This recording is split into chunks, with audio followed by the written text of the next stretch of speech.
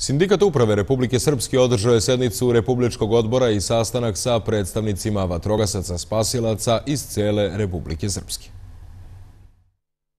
Na sjednici Republičkog odbora Sindikata uprave Republike Srpske raspisani su izbori na svim nivoima sindikalnog organizovanja u okviru Sindikata uprave Republike Srpske koji počinju 15. februara i završavaju se izbornom skupštinom 28. maja na kojoj će biti izabrano novo rukovodstvo Sindikata uprave. Danas smo također na osnovu optužbi koje je uputio Savez sindikata i sindikat lokalne samuprave da mi obmanjujemo javnost u vezi sa brojem naših članova doneli odluku da preispitamo, da pokrenemo postupak za preispitivanje reprezentativnosti sindikata lokalne samuprave, uprave i javnih službi iz prostog razloga jer sumnjamo da su oni na veoma sumnjiv način došli do reprezentativnosti 2018. godine.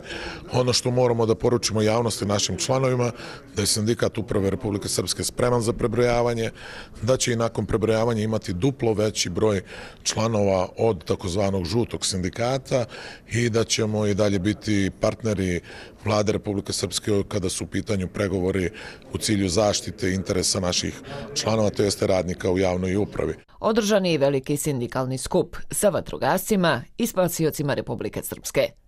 I po prvi put od osnivanja Republike Srpske od danas mi ćemo imati strukovni odbor vatrogasaca Republike Srpske u okviru sindikata uprave i to će biti grupacija koja će se isključivo baviti strukom vatrogasaca i spasilaca kako unaprediti njihove uslove rada, njihov položaj rada i njihova primanja.